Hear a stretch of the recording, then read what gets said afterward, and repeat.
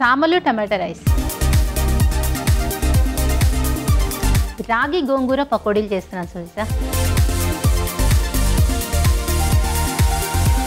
రాగి పిండితోటి మనం ఏది రెసిపీస్ చేసుకున్నా రాగి రొట్టెలు కానీ రాగి సంకటి కానీ ఇలా ఉప్మాలాగా ఏది ప్రిపేర్ చేసుకున్నా దాంట్లో గోంగూర పచ్చడి రాగి సంకటిలో గోంగూర పచ్చడి అలా కాంబినేషన్ చాలా బాగుంటుంది. Millets magic. సోమవారం మరియు మంగళవారం మధ్యాహ్నం ఒంటి గంట నలభై ఐదు నిమిషాలకు తిరిగి రాత్రి ఏడు గంటల ముప్పై నిమిషాలకు. చూస్తూ ఉండండి మీ ఈటీవీ అభిరుచి ఛానల్లో.